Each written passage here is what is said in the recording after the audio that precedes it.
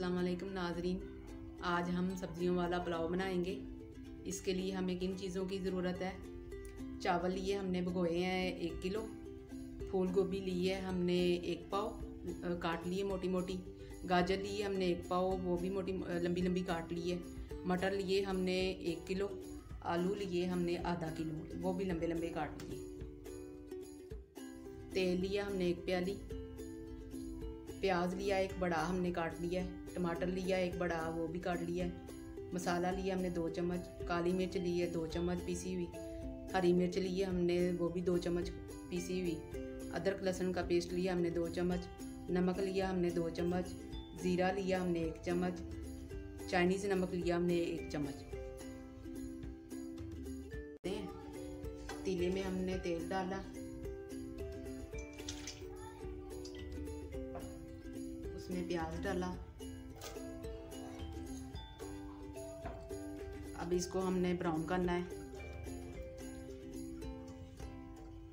Brown जब हो जाएगा ना, फिर हमने लहसुन अदरक डालना है। हमने इस तरह का ब्राउन कर लिया है। अभी हमने और मज़ीद इसको ब्राउन करना है। हमें ज़्यादा ब्राउन अच्छा लगता है। तो इसलिए अब इसमें लहसुन अदरक का पेस्ट डालूँगी।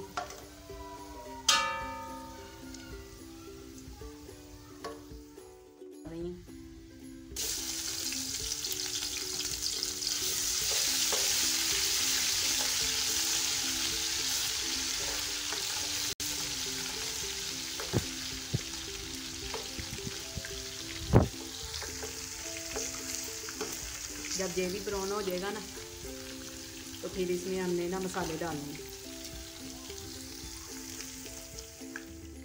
लहसुन अदरक हमारा ब्राउन हो गया, प्याज भी हम ब्राउन हो गया, इसमें मैं मसाले डालने लगी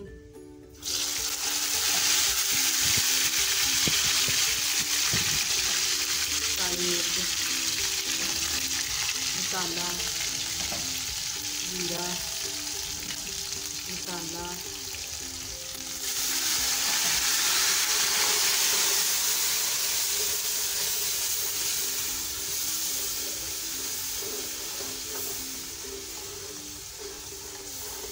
अभी इसको मैंने ना थोड़ा सा भूनना है।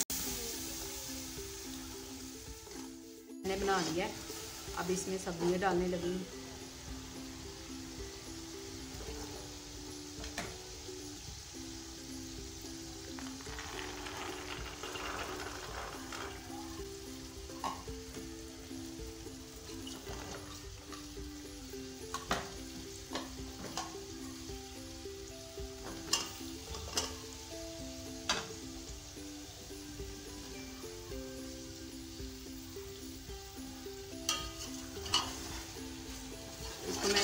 10 मिनट के लिए भूनना है। 10 मिनट तक इसको भून के फिर इसमें पानी डालूँगी।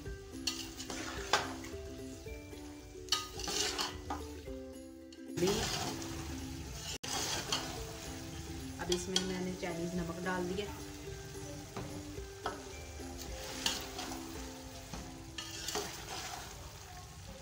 अब इसमें मैंने दो किलो, एक किलो चावलों में दो किलो पानी डालने लगी हूँ।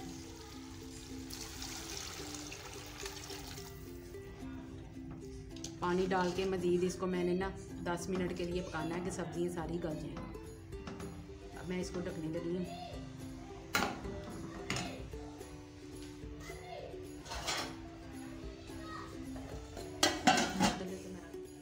चावल मैंने डाल दिए। दस मिनट के लिए मैं इसको पकाऊँगी। पानी खुशक हो जाएगा, फिर इसको मैं दम पे लगाऊँगी।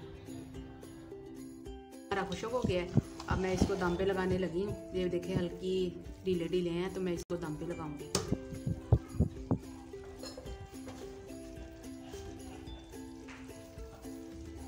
हल्की आँच पे दम पे लगाना है।